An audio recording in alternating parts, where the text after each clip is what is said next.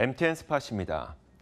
가산금리를 잘못 적용해서 대출금리를 산정한 은행권이 부당하게 올려받은 금리를 환급해야 합니다.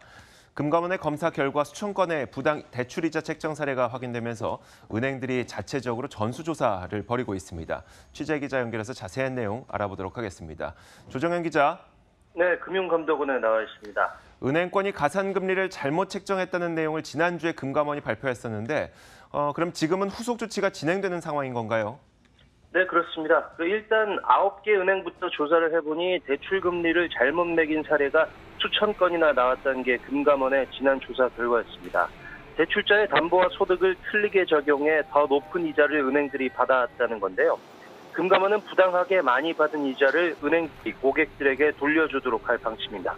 그 상사 채권의 소멸시효, 다시 말해서 회사 사이의 거래에서 채권의 소멸시효가 5년인데요.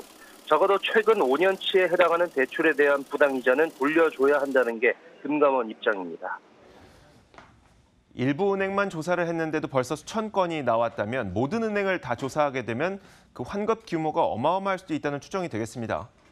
네, 그렇죠. 은행권은 금감원 지시에 따라서 일단 대출의 적정성 여부를 자체적으로 전수 조사하고 있습니다. 전수 조사 후에 잘못된 금리 적용에 대해선 환급이 진행될 예정인데 그 금감원은 환급이 맞게 이루어지는지도 검사하기로 했습니다.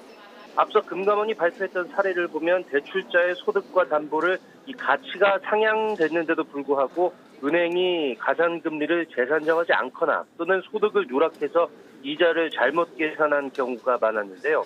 여러 은행, 지점에서 비슷한 사례들이 적발됐던 만큼 이번 기회에 오류를 낳은 시스템을 대대적으로 정비해야 한다는 목소리가 높습니다. 지금까지 머니투데이 방송 조정현입니다.